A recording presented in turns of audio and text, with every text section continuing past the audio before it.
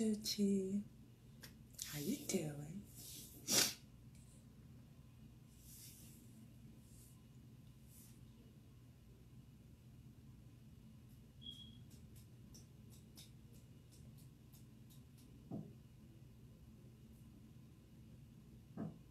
Hi, Sebastian. Hi, hey. Please request to join the live so that I can add you to the live while we wait for other people to join. How you doing, Tochi?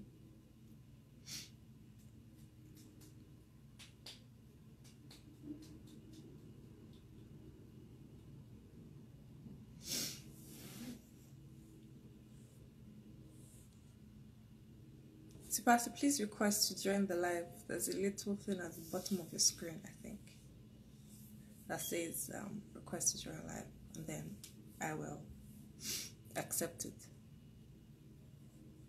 Hello, hello, hello. Thanks for joining, y'all.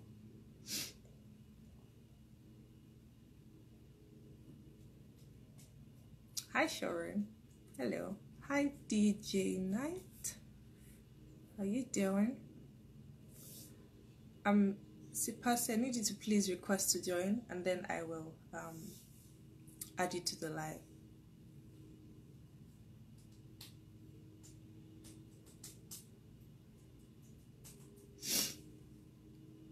While I wait, um, okay, great. You have requested to join. Go live with. Okay. Hello, hello, hello, hello. Thank you guys for joining. Hi, Hi, Hello. hello. I'm doing well. Good to be here. Thank you for the invite. You're most welcome. So, um, I think we will just start. Um, hopefully, others will join. Otherwise, you can watch it on IGTV. So, uh, I have already met you once over the phone, but my name is Itoha, just in case you forgot. So, um, uh, I thought you were the perfect other person to have this uh, IG live series with. Um, so, we've come to ask you a ton of questions. And uh, I feel like this would be a great conversation because you have a lot of experience in this space already. Oh, really? first of all, please tell us who you are. Who is Sipasi? So, um, I'm Sipasi. Nigerians call me a farmer, but in the, here in the US, um, they call me a researcher, and um, some some part of it call me um, hunger fighter because of the work I do in the grassroots. Basically, I run an organization in Nigeria, um, Zone, where we train children, youth, women, farmers Okay. in sustainable agricultural practices to fight extreme poverty and eating hunger in order to improve their livelihoods. Okay. So, um, the focus of the work I do. Oh, you asked me to tell you about myself, not my work, right? I'm sorry. So, um, yeah, as you can see, I am a Nigerian, a very passionate one at that. Um, I did my first degree at the University, Federal University of Technology, Akure, where I studied animal production and health. Um, for my master's, I went to um, the University of Ibadan, where people call the first and the well, I don't know. yeah, where I had my master's degree in animal science, and Okay. um, currently in the United States for my um, doctoral program in agriculture and natural resources with focus on sustainable agriculture. Um, before now, I've worked with um, several organizations, local and international organizations in the agricultural sector. Um, as you can see, I was born in 1987. Yeah, you know, so I think I'm a bit old, but I'm young. Anyways, so I have um, a bit of experience in the agricultural development world. So. I I work with ECHO. ECHO is the Education Concern for Hunger organization based in Florida. Um, however, I work with the branch in um, West Africa and East Africa, that is in Arusha, that is Tanzania, and um, Burkina Faso, Ouagadougou in Burkina Faso, where we train uh, missionaries, um, uh, yeah, in Nigeria, we trained missionaries, you know, those that work mostly in the northern part of the country, okay. on how to, because we know missionaries are power holders in their communities, you know, we train them on sustainable agriculture in order to take it back to their communities to, you know, train people. It's not only about, you know, yeah. just preaching the gospel, but the sustainability part of it. Um, mm-hmm. In East Africa, we worked with um, uh, Maasai farmers. Maasai farmers. They get to the work you are already doing. Um, oh yeah. Backtrack a bit. So you said you have a bachelor's from investing in Akure in animal, I think something animal. Production. Yeah, animal. production animals. Right. Um, did you, did you, was it like you desired to do this from the very beginning? Or after you got into it, you now, it's like a you know? So I was not I was not part of the population that was forced into agriculture because of the academic, you know. So um, it's had been my it has been my passion. It was a childhood's passion. Um, yeah, and um, I could remember when I was very little, um, at the age of eight, I grew up with my grandparents. Mm-hmm. They bought me one cock and one hen. So that was where I started my career you know. Oh, so I mean, don't be surprised how passionate I am about it because it's something that was in my blood. You know, I grew with it. Ah, and, uh, I see. I see. Yeah. Okay. So it wasn't so that, in the future. It has oh, no. yeah. Right, right. So I felt, what can I do in the university that would be seamless? So I mm-hmm. thought I should just continue with what I used to do because I could remember back then, you know, when people have issues with their flock, you know, yeah. um, with their flock back in, back in Shagamu, Ogun State, you know, I seem to be progressing, you know, multiplying and everything. Mm-hmm. So I mm. felt, okay, probably this is the calling. This is my calling. And mm-hmm. um, I pressed hard on it. And uh, today, glory to God that we are here. Awesome, awesome. Okay, yeah, so you, you, said you have an or an NGO, right? right. Uh, called Protect Ozone. Can you right. tell us about that? When did it start? So, um, the idea behind it we started Protect Ozone in the year 2015. Okay. So um, I was invited. I'm sorry to interrupt you. Please, guys, feel free to ask questions as we um, talk because we all want you guys to be part of the conversation. So please feel free to ask questions and I will pitch them to him as we go on. So, as you were saying. So, yeah, I was invited to Tanzania, ECHO in Tanzania, um, Education Concern for Hunger Organization, to present my um, an idea on how to increase the milk letdown of local dairy cattle, you know. Okay.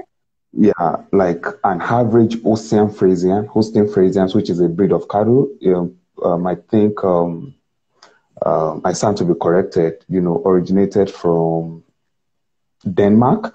You know, mm-hmm. they produce about 60 liters of milk in a day.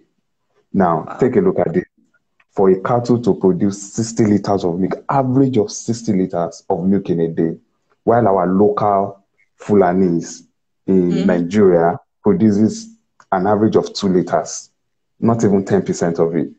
So you can see the deficit. So I designed a project around that, and um, I was invited by ECHO in Tanzania to come present that project, you know, mm. to Maasai farmers. Maasai farmers are the shade of the um, of the Fulani cattle areas we have in Nigeria. So mm-hmm. on my way to Tanzania, you know, um, through Ethiopia, the airliner said, on behalf of each passenger on board, we are planting a tree each. So I was like, where is the connection between the tree you are planting, my mm. flight? I mean, I didn't see the connection then, you know. On the little display screen, they showed us climate change, how it's affecting the globe and everything.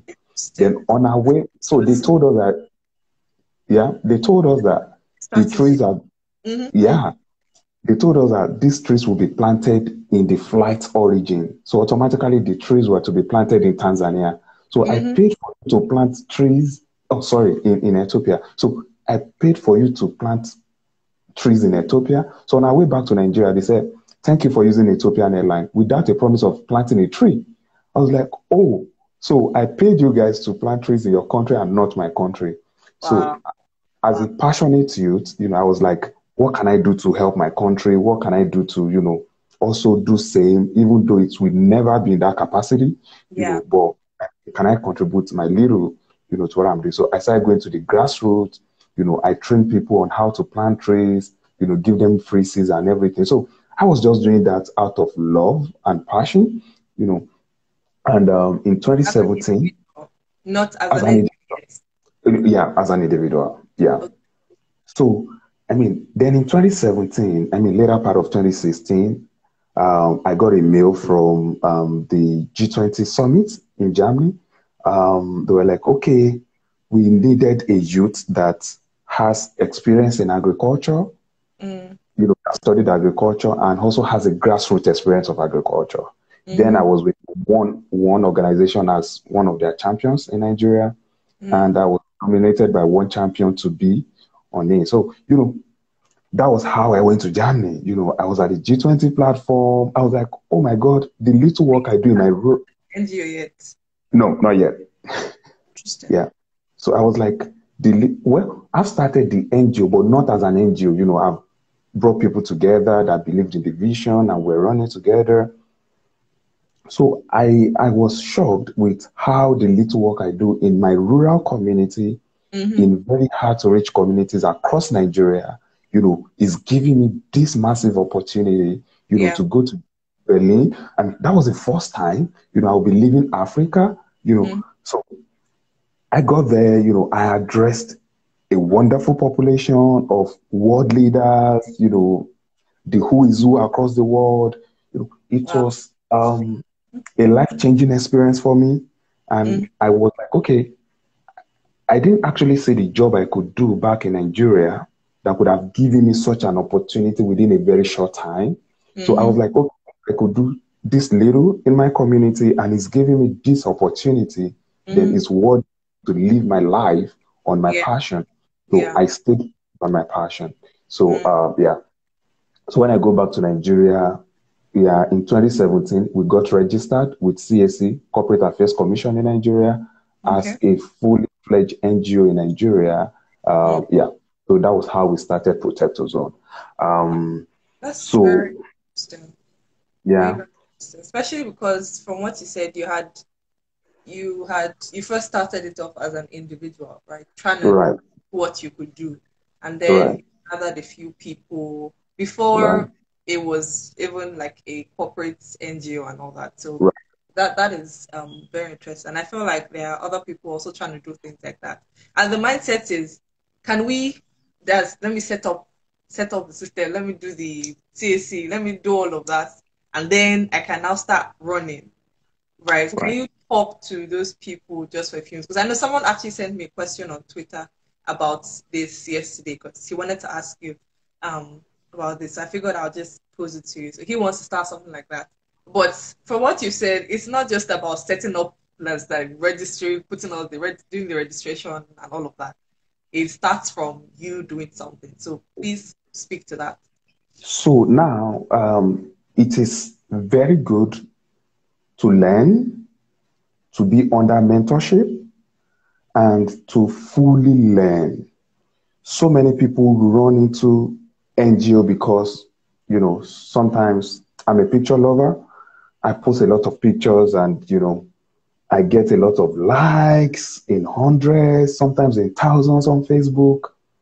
But people are actually quick to celebrate the work we do, but most times they don't understand what goes into it. Mm. They don't understand our pains. They don't understand the struggles. So an NGO is not a place An NGO is non-government organization and is also non-for-profit organization. Mm-hmm. You know, so you need to understand what you are going into if you want to start up an NGO. And again, you need to understand that you have to have a track record. So if you don't have a track record, there's no way you can be successful in the NGO world. Yeah. So what helped me to the glory of God was the fact that when I started alone, Mm-hmm. I was documenting. I have very good documentation skills. You know, not even very good documentation skills. You know, I take pictures of the process. You know, I never knew it was going to be an NGO. I was just taking pictures. You know, archiving them and stuff like that. You know, then when the time came for me to start up an NGO, you know, I already had about two years track record.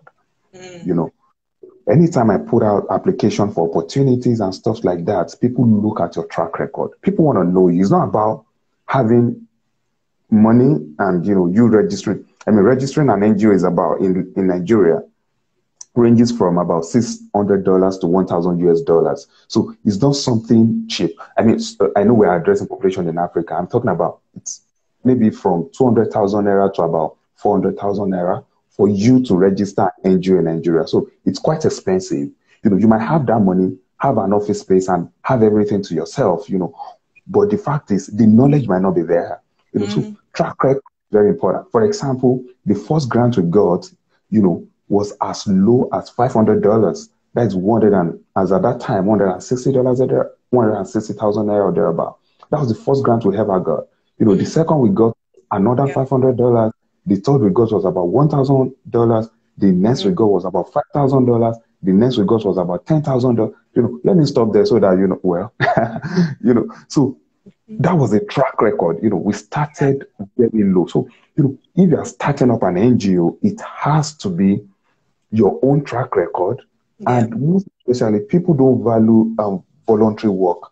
You need to volunteer. You know, it's true. I think that is to an extent an African thing. Oh, it's loading. Let's wait, wait, finish loading.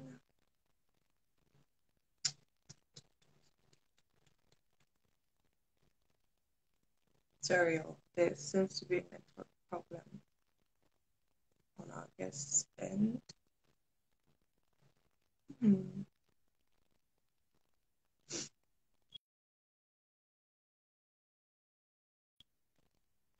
Okay. Um,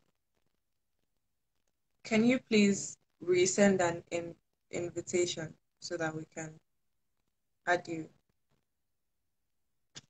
re-add you to the call, rather to the live.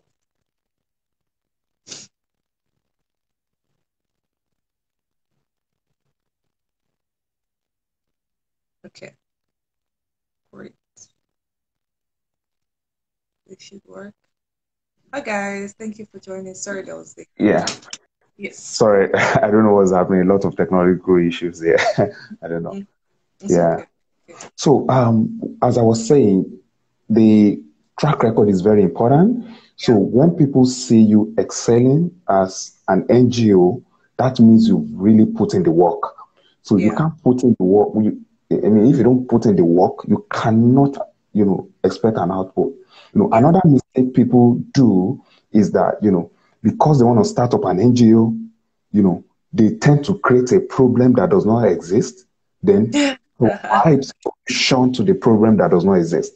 Do you understand what I'm saying? You know, because they just want to start an NGO, they want to put pictures out there, they want to be quick to be celebrated. You know, yeah. I mean, this, in fact, it was not even my intention to start up an NGO. You know, I mean, I woke up one morning and I started getting messages on WhatsApp. Oh, Sipasi, I saw your picture, your billboard along the airport road. Oh, I saw your picture. I was living in Ikorodu, in a very rural community, and the federal government placed my picture strategically across Lagos, even on the island. You know, I don't have the resources to stay on the island, but because of the work I do, you know, it has actually positioned me strategically to where I am today. So I feel that it is not about, if you want to start up an NGO, it is not about the gain of it, but the mm-hmm. impact.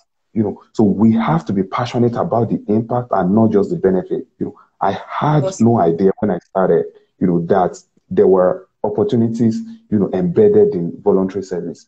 You know, yeah. Mm-hmm. So, yeah, I was saying something about voluntary service. I mean, our youth in Nigeria should understand the mm-hmm. power of voluntary service. I mean, Iton, I have to tell you that I have never worked for anybody with my two hands to receive a salary, you know, and I will be 33 in about in September, on the 9th of September. I have not worked to receive a salary from anybody, but mm-hmm. I have worked passionately all my life, volunteering, I volunteer with One Africa. I volunteer with ECHO. I volunteer with rural and local organizations, voluntary services overseas. You know, mm-hmm. mention the organization in Nigeria that I have not volunteered with. You know, so it's called community service. And through the yeah. voluntary period, I was able you know, to gain skills, you know, that is necessary to push ahead in life. Even mm-hmm. running my PhD, you know, I wrote a, a paper um, recently that I'll be presenting in September as well. You know, yeah. um, I'll be presenting that paper at the um, at the UN United Nations in September. Um, it was the work I have done in the past as a development yeah. worker. Then I wrote it into a research paper. You know, mm. so that is track. I was able to keep track of that and now yeah. I'm writing it in a research paper. So that is actually very amazing. So we should learn to give to our. I'm not saying that you should not get a job if you need one. And again, you know, know your boundaries and be yeah. able, you know, to to to give back to the society. It's very important. You know, yeah. Definitely, definitely yeah. agreed. Um, so we're going to take this to be kind of the last question on this NGO volunteer space, and then we would just go into the agricultural issues and actually expound on those. So I have a question here. I think this is someone that knows you. So it says, Sipasi, great to hear from you. Um, was it great to hear from you once again? Please, can you talk about your experience at Carrington Youth Fellowship One Nigeria and how is how it has positioned you for the work ahead? So, um, Carrington Youth Fellowship is an initiative of um, is an initiative of the U.S. Consulate in Lagos. Um, so you will notice that U.S. Consulate is on Walter Carrington Road. I mean, the town, you should know this. yeah, it's on Walter Carrington. So Walter Carrington happens to be the first U.S. ambassador to Nigeria. So this, yeah. Oh, yeah. I met him in person. so the fellowship was named after him. So the fellowship is Walter Carrington Youth Fellowship Initiative, like mm-hmm. Carrington Youth Fellowship Initiative, CYFI for sure. So it's actually a fellowship that selects about 20 to 25 young people in Lagos State and Port Harcourt. Okay. But, but Port Harcourt is out of it now, you know. So in Lagos State that are passionate about what they do and um, they place them on a year-long fellowship with the U.S. consulate, you know, um, for training. Then the fellows are funded in groups, not individually, to a tune of about um, five thousand US dollars. Mm-hmm. Um, yeah, to implement a project in Lagos, you know, or Port Harcourt, but Port Harcourt is out of it now, as I said. So it is actually um, an important um, part of my life, as because the local farmer I used to be, and I'm still proud to be a very local farmer. Um, it helped place me mm. in a very professional setting okay. to know, number one, how to relate with people outside your culture. You know, mm. yeah, uh, that's a great skill to have. Right. I mean, it you, you you might actually understand that you know it's very different for you to be a Nigerian and just Nigerian alone you know, and it is also different for you to be a Nigerian and also have experience in other African countries. You know, that means you are a Nigerian and you, are, you also have the experience on how to relate with other Africans. Yeah. It is a total ball game for you to be a Nigerian and to relate with developed countries. Mm. You know, so CYFI gave me the opportunity, you know, um, to to have an experience like yeah. to bridge the gap from my local community and international development, international world. So I got selected for that fellowship and um, I was on it for one year. During the fellowship, I put in my best as a rural farmer. You know, I put in my best. And at the end of the fellowship, I was awarded the um, US US Consular General's Award okay. you know, which was presented by the then U.S. Consul General John F. Bray, and also this amazing Nigerian American Partnership Award. So I got it too, you know, uh, after the fellowship year. So it added a lot to yeah. um, my my development. So the person also had my experience with One Nigeria. So One Nigeria is part of One Africa, uh, one, one Africa was actually that particular platform, another voluntary platform. So you should know that Carrington Fellowship is also a voluntary platform. One Africa is also a voluntary platform. So it's it's a platform that gave me an outstanding opportunity to leave mm-hmm. Africa for the first time. And um, I will always credit it to God and also mm-hmm. them supporting mm-hmm. the trip. So they were the one that actually sent me to G20 Summit, financed me, put me on a business class, you know, and everything to, mm-hmm. to, to, to, G20 Summit. Why? Mm-hmm. Because they needed me. They saw that what I do, the work I do in my rural community is important and they mm-hmm. felt the world has to hear about it. Yeah. I was denied my visa to Germany, but mm. they stood on their feet, you know, they contacted the right people and um, they made sure that I got my visa. They made sure I had a very good trip to Germany and mm. they gave me very good media attention in Germany. So, I mean, I never knew that this was going to come with a package. It yeah. was not for every fellows of the of, of one every fellow of one Africa, but mm-hmm. you know the track record I was able to build over the years. You know when they needed someone to represent in agriculture, there was no other go-to person than Sipasi, which I am really grateful to God for the opportunity, and I also appreciate One Africa for investing so much in that. Mm-hmm. So that was what that okay. has. You know, that yeah.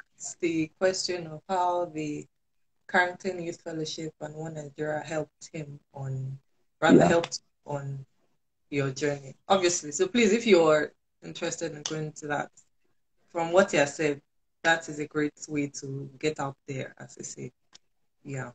Okay, so you have worked with a lot of grassroots farmers and let's say organizations and all that. What would you say are the top two challenges as at the very base, right? The top two challenges that um, farmers have, or the challenges that are there on the agriculture chain from your experience working with them directly? So, market. Market, okay. No, this work. Hey, we'll be back soon. Sorry, y'all. It will be back soon. It will be back soon.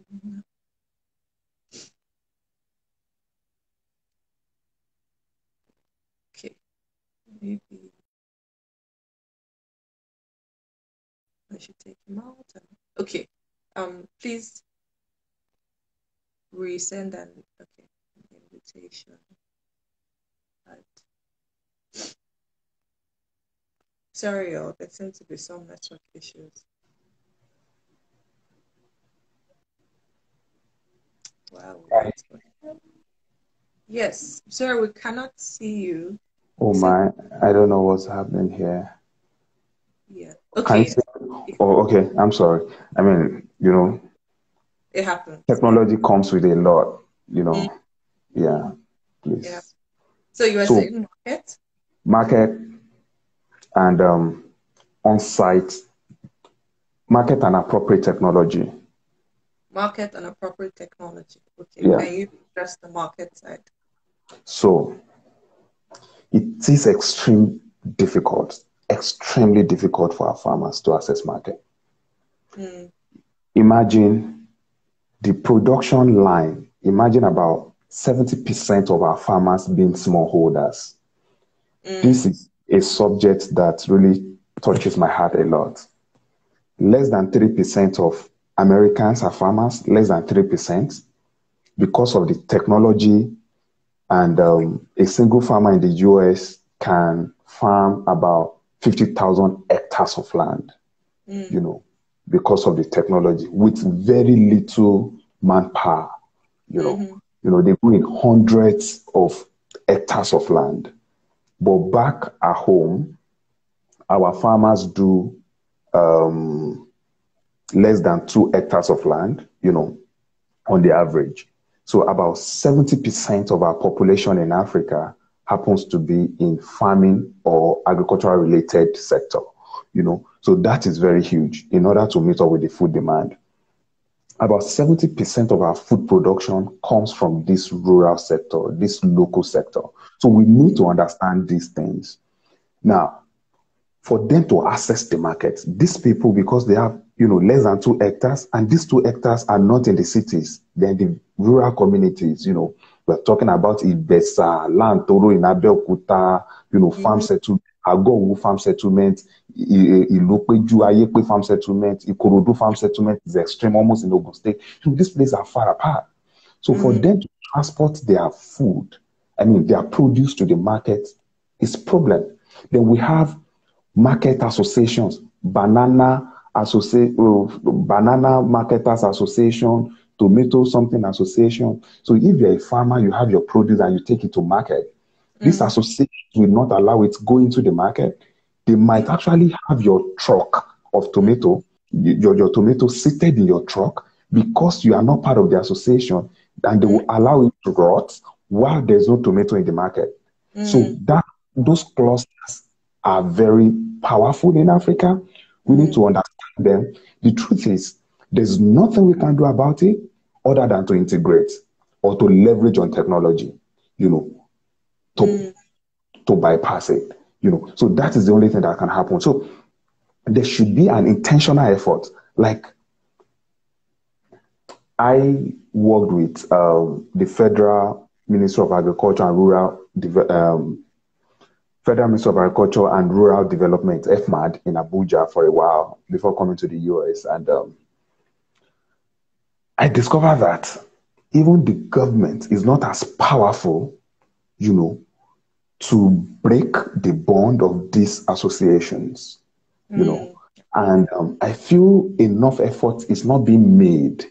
You know, the farmers put in a lot of effort, sleepless night and everything into production, and an aggregator, an aggregator will come, we price the farmer so low, Mm. most times the, Yeah. the, the, the, the, the aggregators are the price takers Yeah. which is so sad. Imagine now, Iton, imagine your dad being a farmer. Mm. After putting in so much effort, then the buyer comes and say, "Oh no, now you can't sell this one for this. This is the amount I'm going to buy it." But because your dad doesn't want to continue incurring costs, they have to sell it at all costs. They don't mi- mi- mind selling it lower than the cost of production. So that is the it, it, is- is a tragedy in Africa that we are not looking into. And this is actually making farmers remain in the triangle of disaster Mm. in Africa. So, what do I mean by triangle of disaster? Poverty, unemployment in the rural areas, you know, and climate change. So, when I talk about unemployment in the rural areas, so young people in the rural areas mm-hmm. are not even in agriculture again. They've moved to cities and become bike riders, I mean, motorcycle riders and stuff. And you have mm-hmm. little youth in the urban areas trying to do agriculture is fancy, which is fine. Agriculture is fancy. People are doing this and that, but it cannot give us the food we need. You know, the food we hmm. need in Africa is actually in the rural areas. Then how can we have, you know, rural youth empowerment strategy? You hmm. know, what I call RES, Rural Youth Empowerment Strategy, to keep Yeah. youth in rural areas, provide them with necessary resources to live there. For example, hmm. if I have access to internet, water, power, I mean, I'll be very happy and excited to live in a Yeah. very rural community, you know. But if these resources are not there and, you know, my, my, my labor is not being paid for well, then I'm going to look for an alternative. So these youth Yeah. have migrated from the rural areas, you know. So this is actually affecting markets in a very um, hard way. Then the second thing I talk about is um, appropriate technology. Yeah, but before So- we get to technology, Okay. um, I just want to uh, take us a step back to what you said about the associations preventing, let's say, small farmers from. Okay, we have a question. Let me just quickly finish the thought. Um, what you said about the associations preventing the access of small farmers to the market.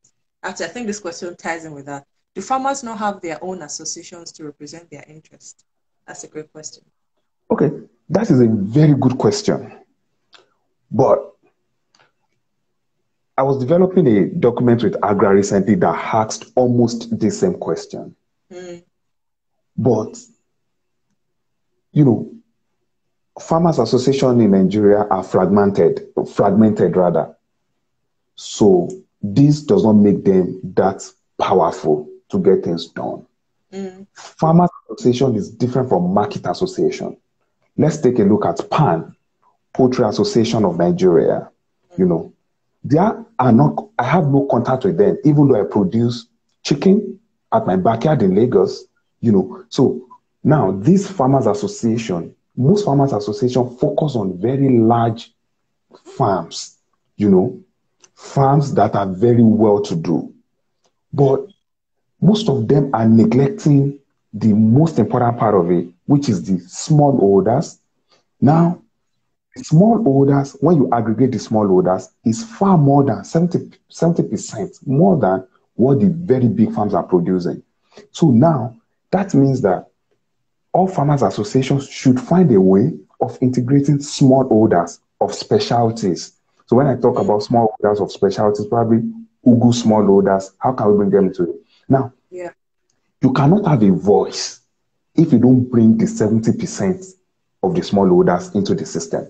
Mm. Do you understand? So the 30% cannot give you the voice you are looking for. Mm. You get what I'm saying? So you need that 70% to join you to give you that particular voice. And this has to be bottom top approach and mm. also yeah. up bottom approach. You know, mm-hmm. so the government must know. The system has to, you know, it's just so sad that our system does not kiss each other. You know, mm-hmm. like why should I have a driver's license, my international passport, and you get to a place, they are not accepting your international passport. You get to another place, they need your driver's license. You get to another place, they need your school ID. I mean, yeah. as an international student in the United States of America, you know, just your driver's license, then you're fine. You mm-hmm. know, so these things are fragmented, fragmented in all aspects of our country. So yeah. if you have it fragmented, so it's not going to, you know, hold water. But I mean, um, so you have said that the associations are the people they have in the associations or the markets, or rather the farmers are the large scale farmers, right? And they seem to have neglected the 70%, which is the small scale farmers. What prevents the small scale farmers from joining those associations? Because I assume that your membership in, in a some group is by choice.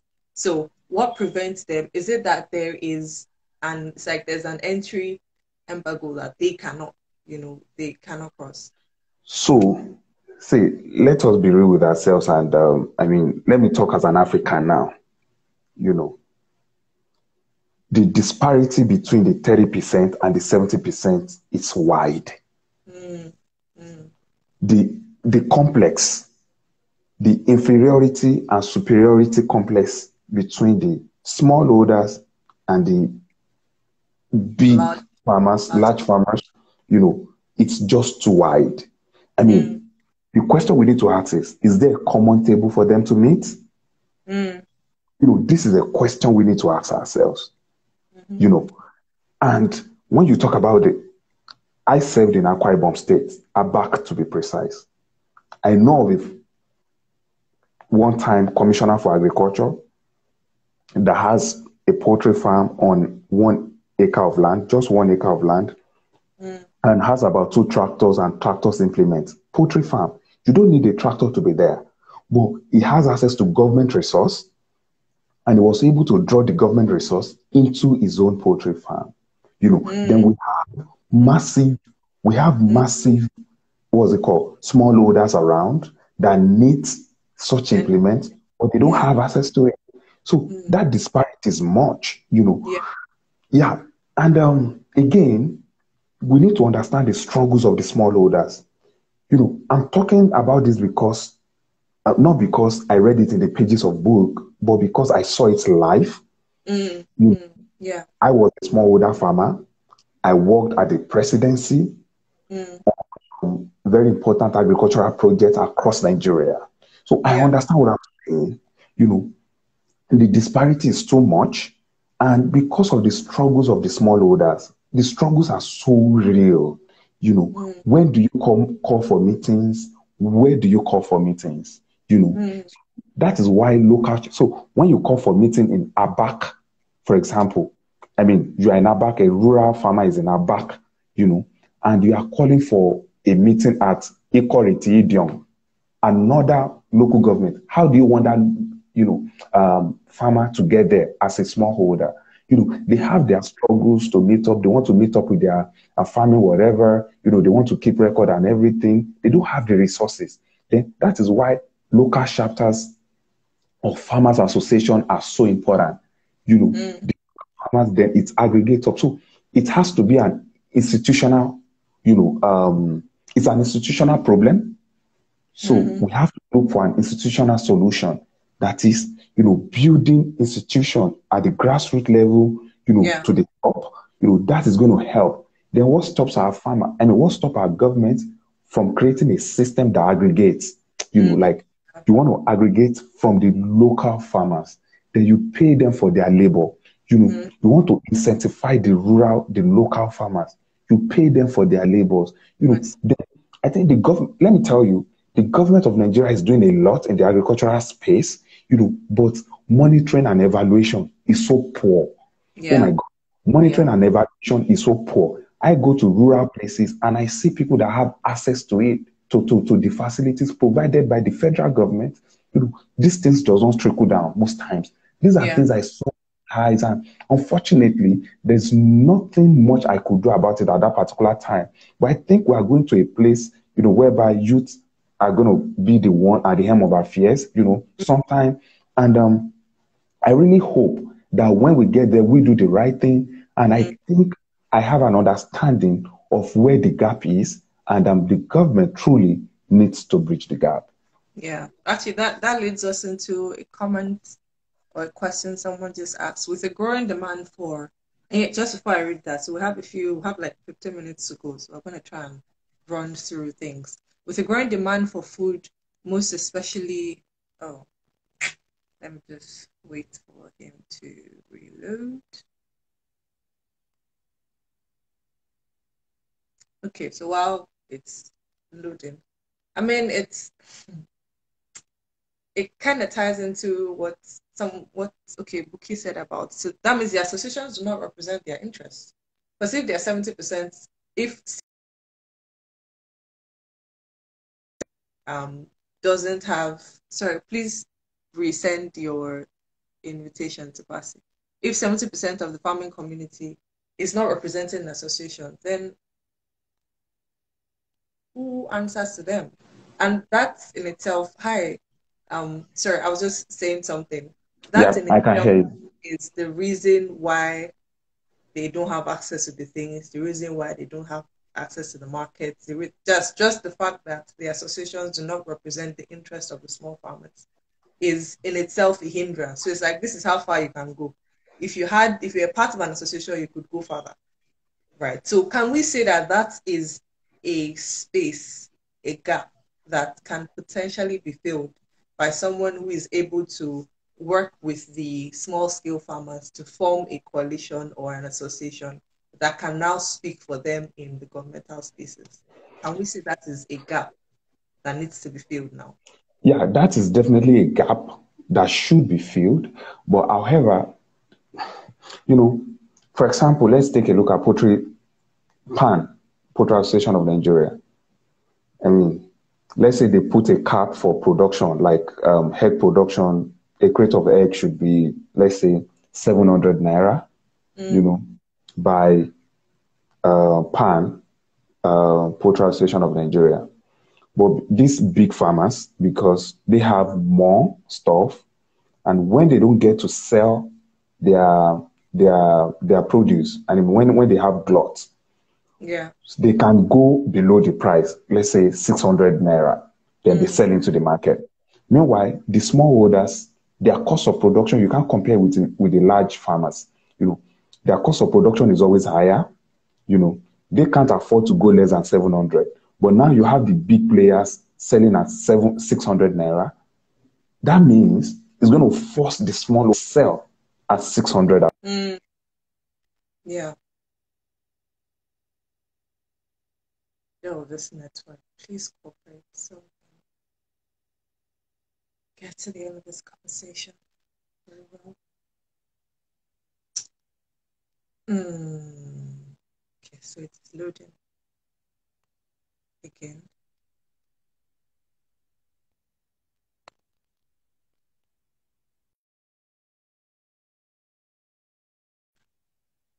Okay, let me re-add you.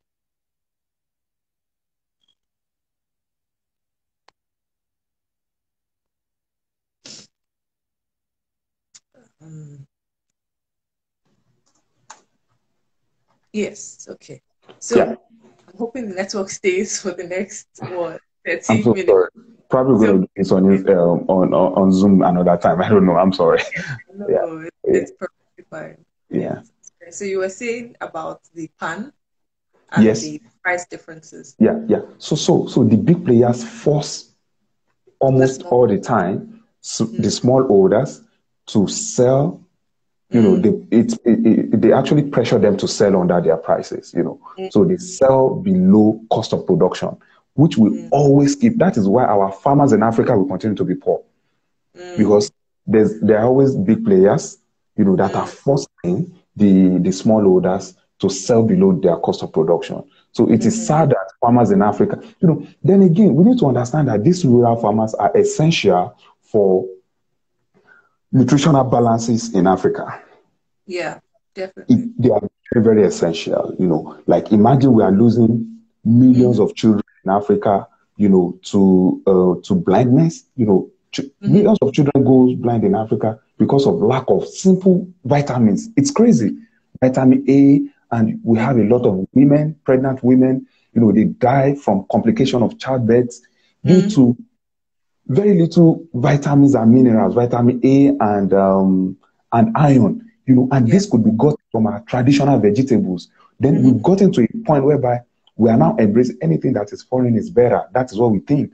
You know, we have our traditional so. Yes, we, we have our traditional vegetables that are high. I mean, they've done the research. I was reading the paper sometimes ago, you know, that are very high in micronutrients, lysine, yeah. what have you, yeah. you know, which, which could avert this. So who is going to salvage us? So it is time for me and you and our listeners today to see what they can do to help our rural farmers and promote rural farmers' produce. For example, I live in Manhattan. Manhattan, Kansas, not New York, and local arts, artifacts, local artifacts are sold in a way that is very expensive, you know, mm. extremely expensive, but the locals are patronizing them. Why? Mm. Because they want to promote their own, yeah. you know, local. Yeah. We should yeah. encourage our farmers. Yeah. Mm. Wow. Okay. I think that that brings us to a great close uh, just to highlight some of the things you said, um, I was actually going to ask you what what can the regular consumer do to help out with this, and I think you just answered that question by patronizing the local farmers. Find out what's yeah, as consumer, we have a role to play. Find out the things that are available. Find out the that there's a question I asked my peers. Do you know where your food comes from? Do you know who grew it? Do you know you know, do you, do you have do you have answers to any of those questions? Um, just deciding, okay, um, plan your meals around the things that are locally available. Um, find ways to make it interesting. Find ways to purchase from these people. Connect with them, as against, oh, I'm just going to buy from, you know, or buy the one that has been imported. Imported doesn't mean it is extra.